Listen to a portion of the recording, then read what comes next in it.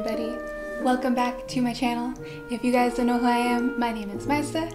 I am a game developer on the Roblox platform, and today I am going to be sharing some updates with you on my game, The Sandbox Place.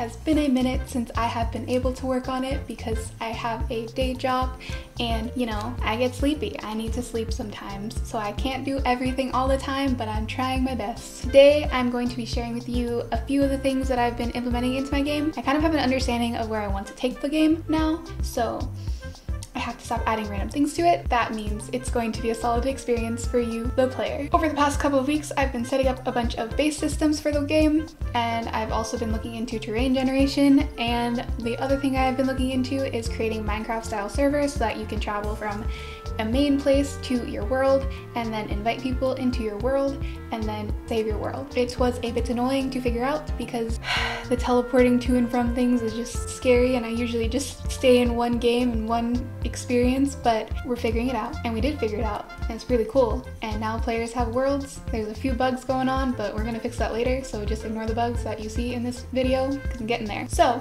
if you're interested in seeing how I've been implementing Minecraft style servers into my game, then keep watching because I'm going to show you and then you can do it too. Number one is that we want to allow the player to create and store a world in their data. Number two is that we want to allow the player to view all of the worlds that they've created. Number three, we want to make it so that the player can then travel to the world. And then number four, we want to save that world's data to a separate data store so that when the player joins it, they can load their world. What is a reserve server, you may be asking? Well, a reserve server is basically a private server that you can create under your experience and the way that it works is you use teleport async. With teleport async you call a function called reserve server and what that does is it will return an access code and a server ID. This is a permanent server in your experience so basically if you store this information, the access code and the reserve server ID, you can always go back to the world. So, the way that I'm implementing this into my game is that I'm taking the reserve server ID and the access code and I'm storing it under the player's data so that I can retrieve when they want to travel to their world. And now that we have the reserve server ID and the access code, we can now teleport the player to their world. How do we now teleport the player to their reserve server? I am going to show you a basic implementation of this because I feel if I try to show you the code that I am working with, it may just confuse you. The way that you want to implement the ability to teleport a player to a reserve server is you want to use this thing called teleport async and what you're going to pass through it is your place ID, a table of players, and something called teleport options. Under teleport options, you just want to pass the access code and then you want to set your teleport data to the information that you want to send across to the server. What I am sending through teleport data is the access code and then also the reserve server ID because you don't have access to that just straight off the bat when you teleport to the server. If that information was helpful to you, please be sure to give this video a like so that I know that it was helpful to you and don't forget to subscribe. So now that I have done all of that stuff, I can kind of just show you it in action. So we are going to open up the Roblox and hope that it is not broken on this fine Saturday. Um, let me go here to the sandbox place development. Let me open it up. Okay, so I've been creating some worlds. These are the bugs that I've been talking about. Um, it's displayed twice, which is not accurate. There's only two worlds. This is Anne's world and you all are simply living in it. So if I hit play, if I hit play, then it should teleport me to the world. Sometimes I have to like spam click play um, and I don't know why, but it's okay. Okay, hello.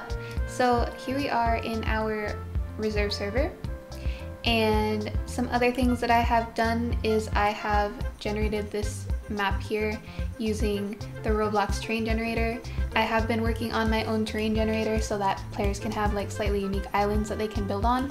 But for now, this is this is what we're working with because my terrain generator is not as beautiful as this.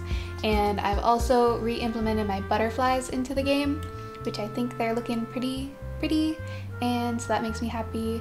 And then also I've been working on this thing where you can create create those structures in your game. Basically each structure has its own system to determine how things behave when you place them in the world. So for something like foundation here, you can go like boop and then it resizes the base of it so that it looks structurally sound. And so I create another one and it starts filling in. Boop, boop, and boop. And so now when you are up here, you can be like, oh yeah, I'm not gonna fall. This isn't gonna break. I am perfectly safe on this perfectly structurally sound base. And I've also created a wall. I'm not sure it works properly, but basically I'm trying to make it snap to things well.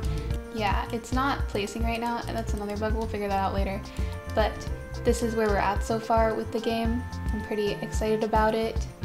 If you guys like this content, then be sure to subscribe because I would love to make more of this stuff and share it with more people.